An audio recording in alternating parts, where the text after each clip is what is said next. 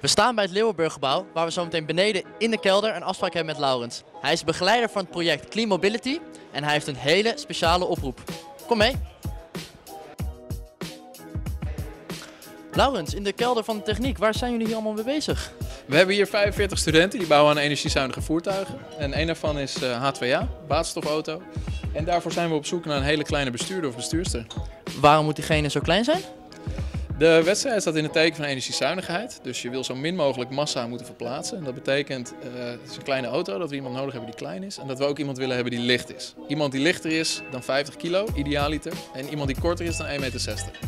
En hoe moet het zitten met ervaring? Moet iemand uh, fietservaring hebben in Amsterdam of een rijbewijs hebben? Hoe zit dat?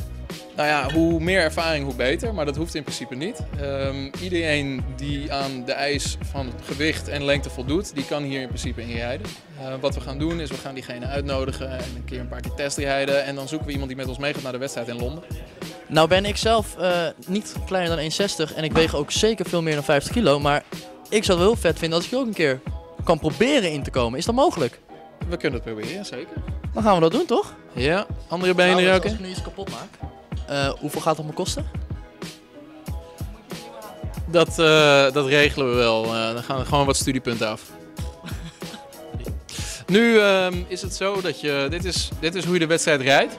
Dus je zit hier ongeveer 40 minuten zo in deze auto, 10 rondjes. 40? 40 minuten, ja. En zuurstof?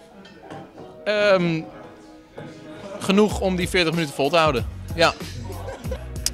Dus, ben jij een HVA-student, ben je kleiner dan 1,60 en weeg je minder dan 50 kilo en pas je dus wel volledig in dit ding, dan zijn zij op zoek naar jou. Van 27 juni tot en met 3 juli is de race in Londen en schrijf je in via de link hier beneden en wie weet word jij uitgenodigd voor een testdag. Ik uh, ga een stukje rijden. Joejoe!